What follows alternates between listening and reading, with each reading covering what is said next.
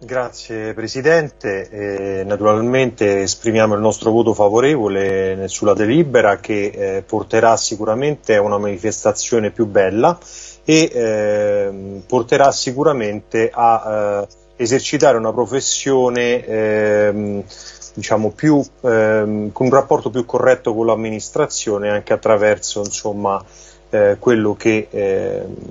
il tesserino potrà garantire ai veri operatori. Eh, mi spiace dover eh, rintervenire sul discorso degli emendamenti perché quello che è accaduto con gli emendamenti 2 e 4 per me è molto grave, non ripeto per chi li ha presentati, che può anche averli presentati in buona fede, ma che non può non aver rilevato eh, i, eh, diciamo, gli intenti insomma, non degli operatori sani del settore, eh, perché eh, evidentemente eh, sappiamo tutti che ci sono in corso delle indagini sul, e abbiamo letto tanti articoli di giornale che parlano di rivendita dei posteggi e a intervenire su una delibera che stranamente eh, in modo tale anche i pareri favorevoli, quello del consigliere Bordoni se non sbaglio, degli uffici eh, quando va a smantellare tutta una parte del regolamento che parla dei cambi turno praticamente perché